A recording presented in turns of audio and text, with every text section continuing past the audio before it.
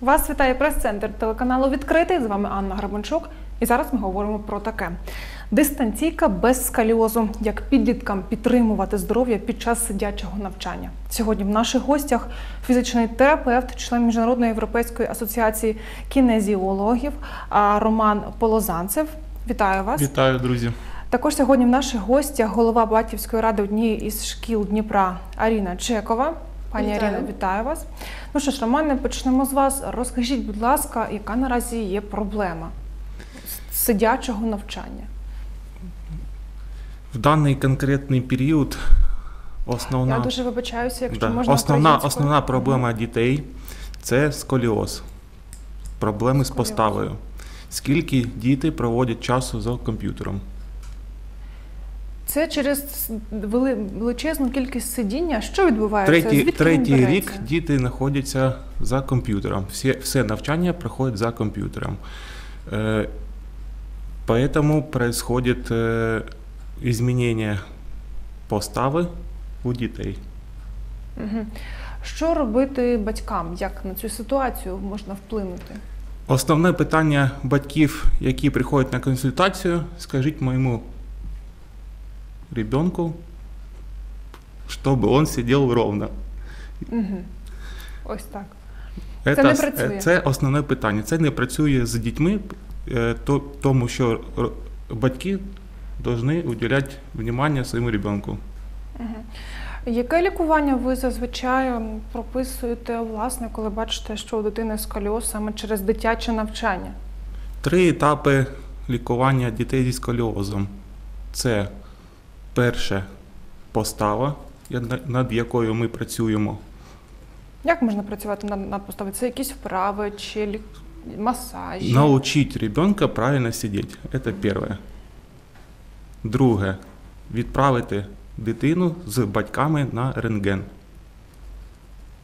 І третє займатися лікувальною фізкультурою. Що передбачає лікувальна фізкультура? Лікувальна фізкультура передбачає комплекс вправ, які будуть впливати на поставу. Можливо, е, дитині, учню так е, можна порадити якісь, якесь хобі, яке б компенсувало оці півдня сидіння. Із е, практики дитині порекомендувати нічого неможливо. Як тільки закінчуються уроки, дитина починає знову сидіти за комп'ютером.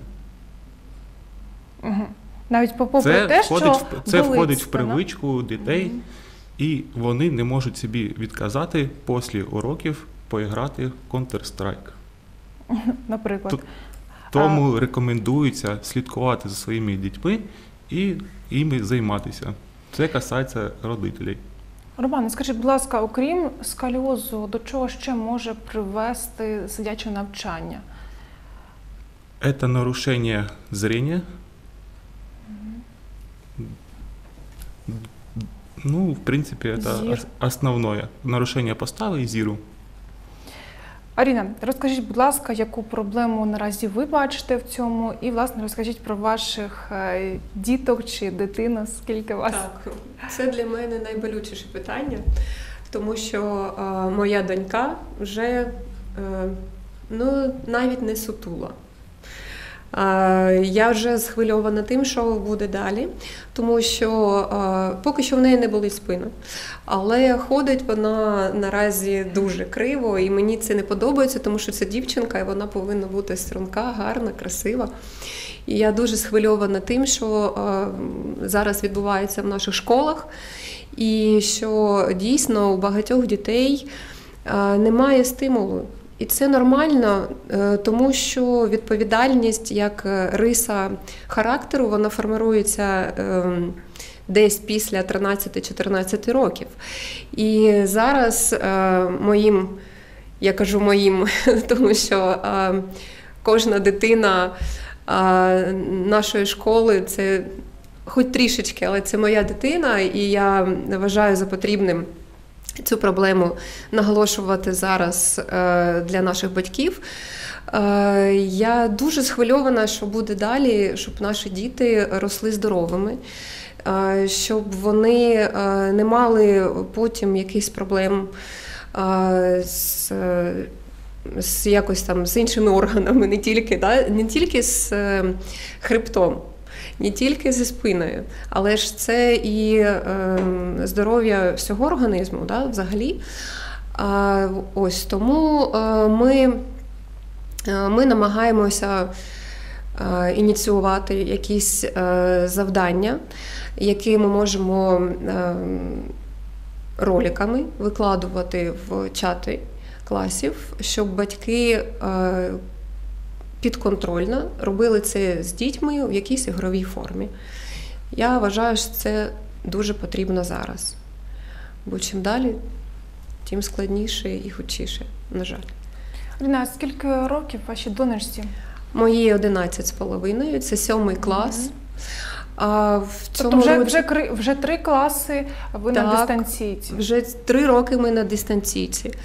І е, з 9 ранку, десь до 3, а навіть до 4 години дня діти сидять за уроками. Це загальна шкільна програма. Потім вони повинні зробити домашнє завдання. Це ще займає деякий час. І якщо всі батьки вони на роботі чи зайняті якимись своїми е, хатніми справами, вони не можуть контролювати е, кожну хвилину, щоб дитина сиділа ровно. І, е, на жаль, так як сказав Роман, так, вироботити е, посаду так, на стільці дитини це добре, це найважливо. Але дитина не буде цього робити сама без нашого батьківського контролю. Це на жаль.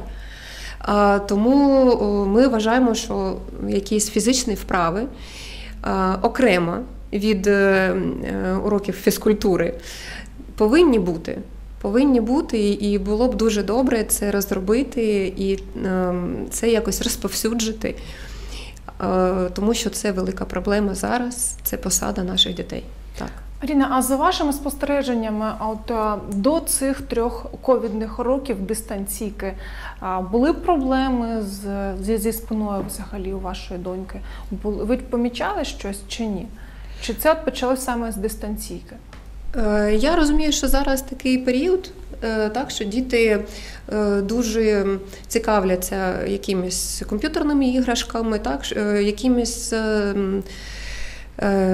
мережами соціальними, і вони дійсно постійно перебувають з телефоном або з ноутбуком. Але ж ем, коли вони були у школі, це примусово. Е, Я вважаю, що це примусово у кожній школі, не тільки в нашій. е, Залишати клас на перерві.